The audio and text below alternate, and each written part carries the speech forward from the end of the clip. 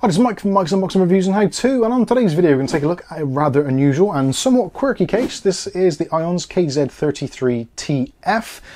There's actually two versions of this available, so if you're looking at this and thinking, oh god Mike, addressable RGB, not particularly keen, there is actually the KZ33T, which just comes with the case, no fans at all. Price difference between the two, looking around about £10 difference, depending when and where you're shopping.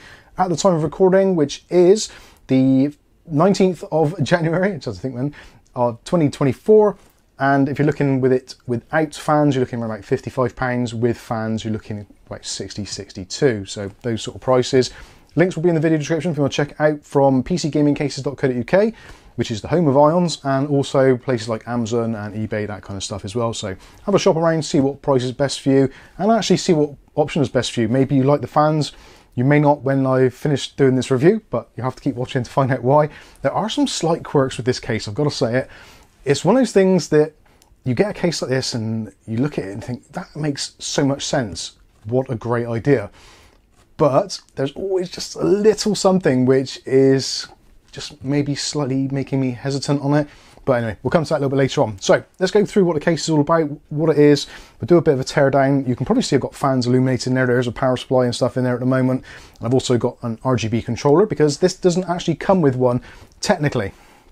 It sort of does, but it sort of doesn't, which is where I'm kind of edging towards with this fans thing. So it comes with five included 120mm addressable RGB fans, four of which are excellent, one of which sucks.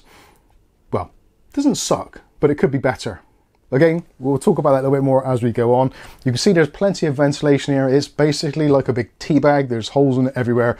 So in terms of airflow, this is going to be great. If you're thinking of doing maybe an ITX build, you can do that. It's really predominantly aimed at ITX, but it will fit a micro ATX motherboard in there as well. Sadly, no ATX. It's a little bit too compact for that.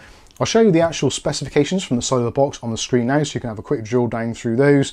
So you can see the measurements there. You can also see the fan support all that kind of good stuff. And the fact that it's made from two millimeter aluminium and the rest is uh, SPCC steel, which is 1.6 mil. So it's actually pretty strong, pretty sturdy, pretty decent stuff to be honest with you. Very impressed. It's a, a very unusual looking case as well. Kind of reminds me a little bit of a Lian Li design. I'm not too sure where they've got the inspiration from this from because it is it's very quirky. It really is. So let's talk about fan support. So fan support, you can put three 120s on the top but it doesn't appear that you can put a radiator on the top, which we'll take a look at later. You might be able to fudge one in, but it isn't kind of recommended. When it comes to the front section, two 120mm fans, uh, that is basically it. No option for any other options like 140s, anything like that.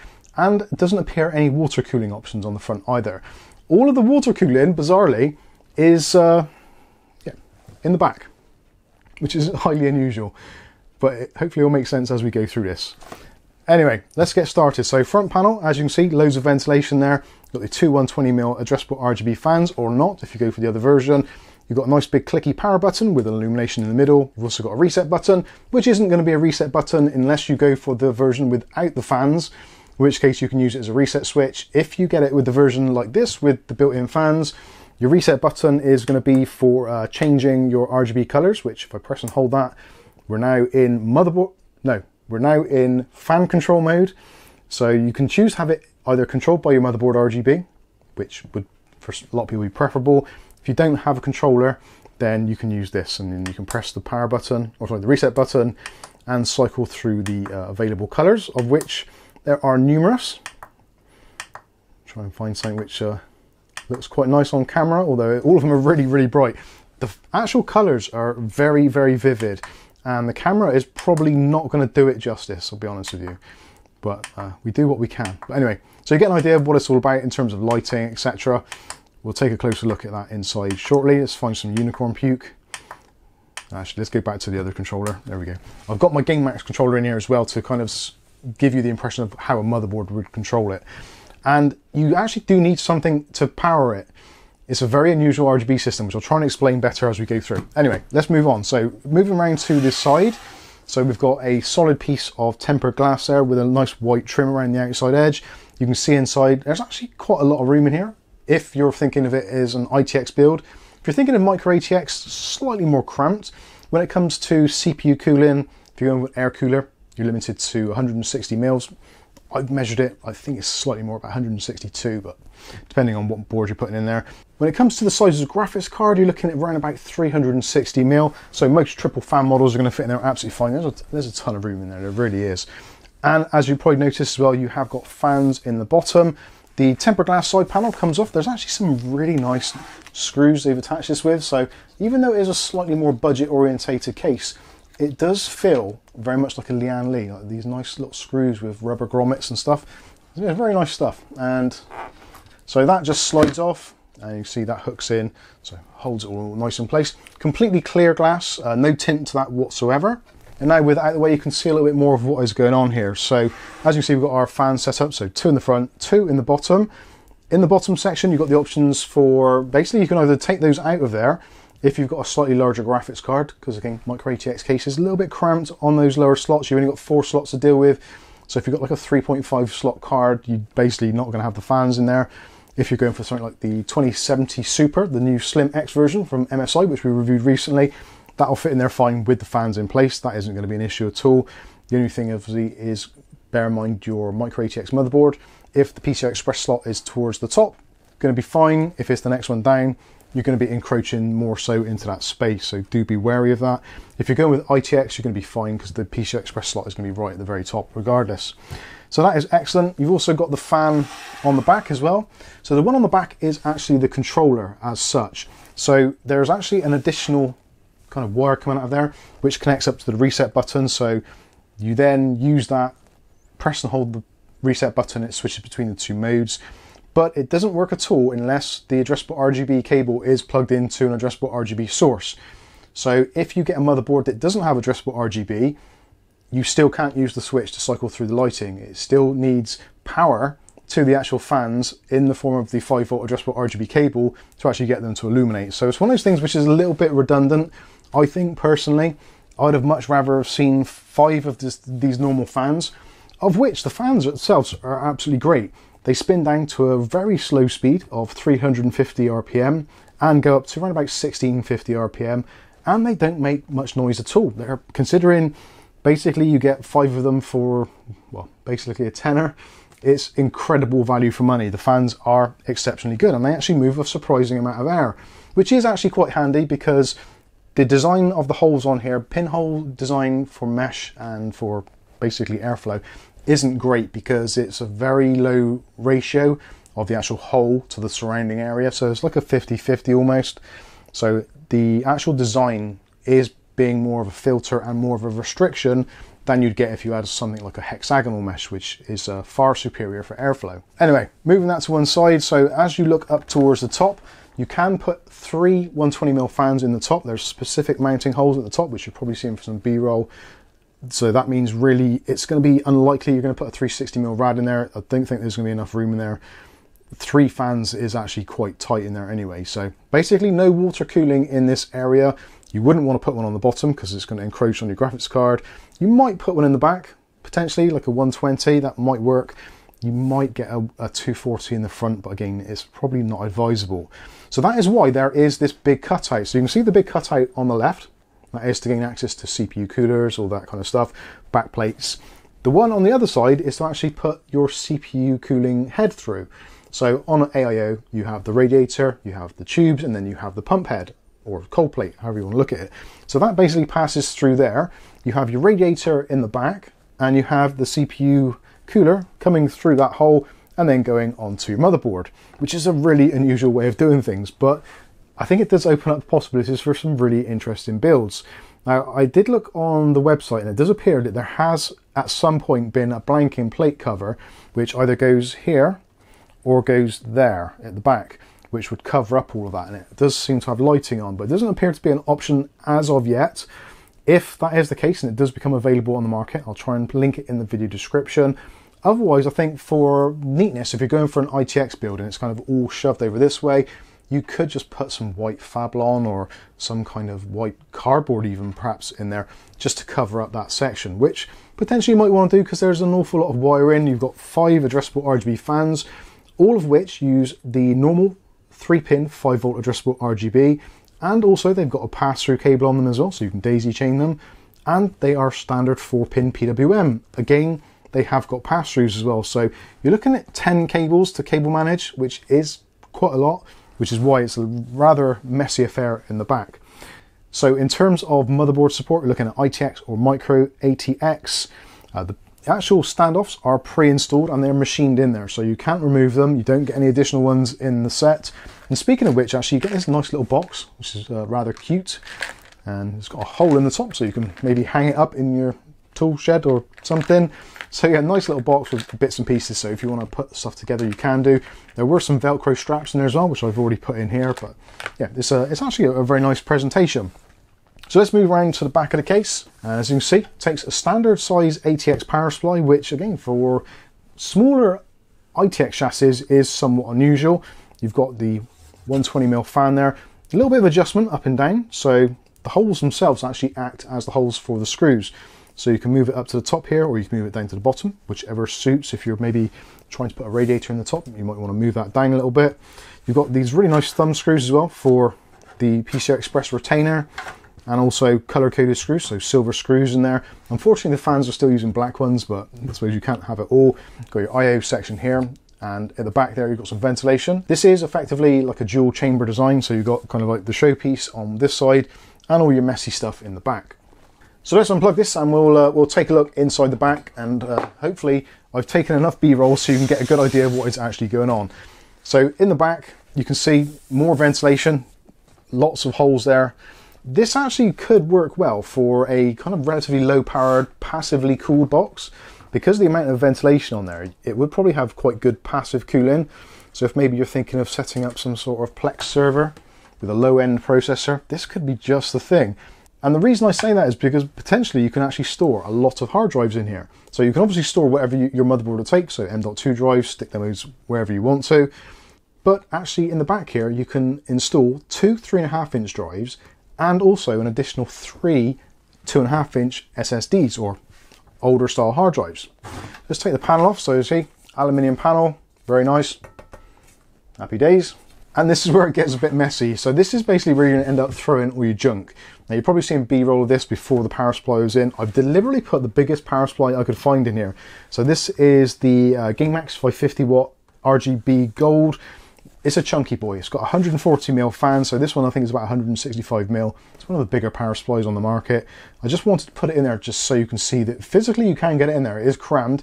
There's also a separate GameMax addressable RGB controller, and also there is the Noctua fan speed controller as well, because I didn't have one of those available, and the GameMax one is uh, not particularly good for that. Anyway, I digress.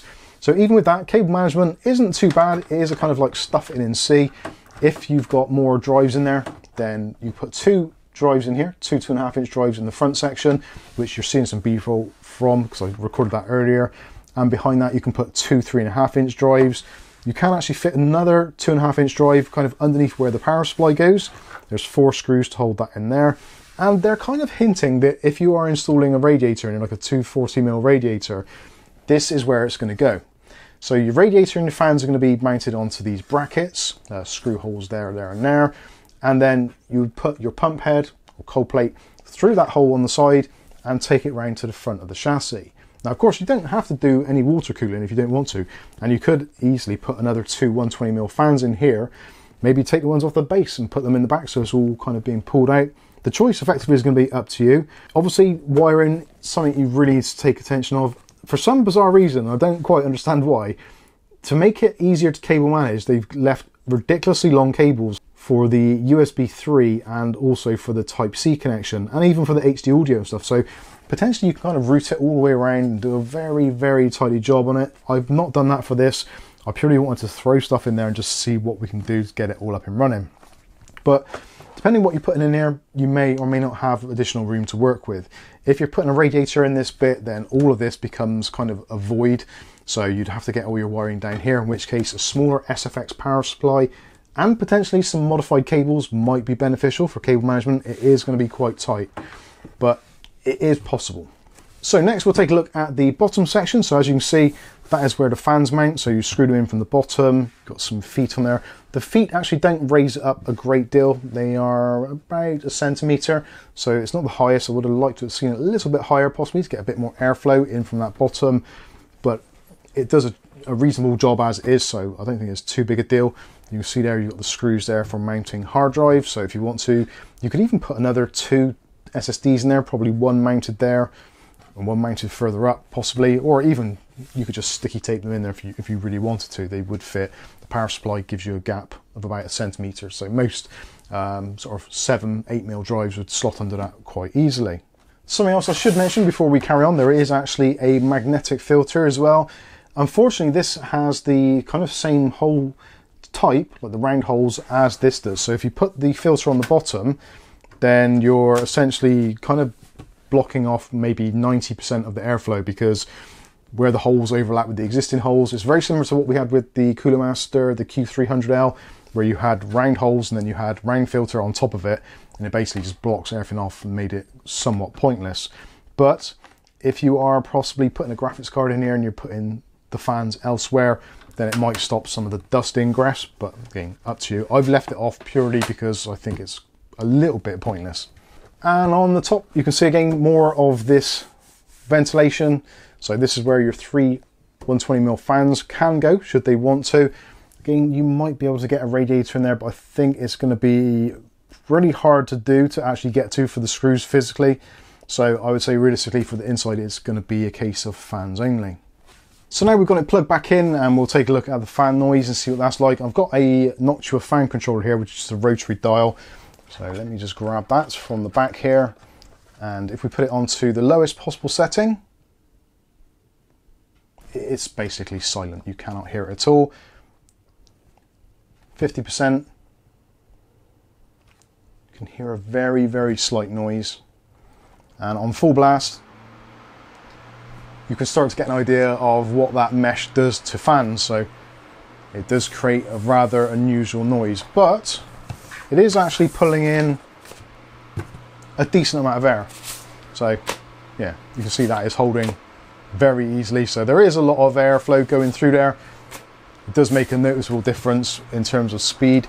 Realistically, I don't think you're going to need it that high with it on the lower speeds it's absolutely fine. And it's still moving actually quite a decent amount of air with the combination of the updraft and also that coming in as well. And then it being exhausted at the top and any other positive pressure is going to be pushing out through the top or out through the sides or basically anywhere else where there's mesh, of which there is a lot, including actually the PCI Express blanking plates at the back, which I think have been done really, really nicely. Color coded, uh, removable ones as well. So if you have to remove one, or then you maybe decide you want to get a new AMD APU, put it in there and take out your graphics card and have a nice little system which doesn't need a graphics card, then you can put those in, slot them back in, no problems at all. But yeah, overall, I think it's a, a very unusual design. And even things like at the top here, where you've got all that ventilation, so leaving that top section kind of open, you've got that line of holes across the top there. So again, if you are considering putting water cooling in the back section, it's a kind of very open affair. It's very, uh, very unusual, very strange. I'm still not entirely sure what I think of this case, if I'm completely honest with you. I'm a little bit baffled by it in many ways because it tries to do so many things just a little bit differently. And I think, for me personally, ultimately, I would love to have seen them just put five of the normal fans in here rather than being that one on the back with the controller. Because something which I will show you actually is let's say we decide on our favorite lighting style. So let's find one which is kind of obvious. Let's go with green. So you've got your light in, you set it to green on the controller and then decide, right, you've had enough for the day. So you're gonna go and turn your PC off and we'll flick the power switch. So turn your power off, turn your PC off for the night and you come in the next day, turn your PC on, we've got unicorn puke. So then you're going to have to go through and manually find your lighting or press and hold the reset button to switch over into the uh, the alternate mode from the onboard controller from your motherboard, that sort of thing. So it's a little bit odd. I would have much preferred to not had that option.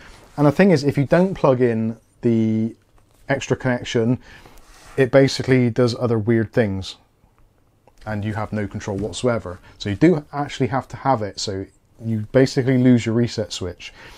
So that is where I am a little bit confused with this one. So it does so many things so well and so differently, which makes it one of those things where you think, this is very cool. I want to actually try and do a build in this.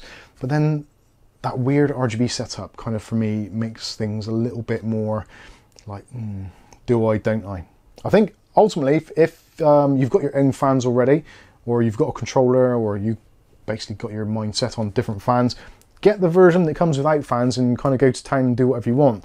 I think if you put in, I don't know, your Arctic fans or your SWA fans or whatever it might be, I think it will be a preferable solution. But if you don't mind having to press the reset button when you turn your PC on, or maybe you're just going to leave the lights off and not bother. Although saying that, I'm not sure if you can actually turn them off altogether. I don't think you can. I don't think there's a button to do that. No, there definitely isn't.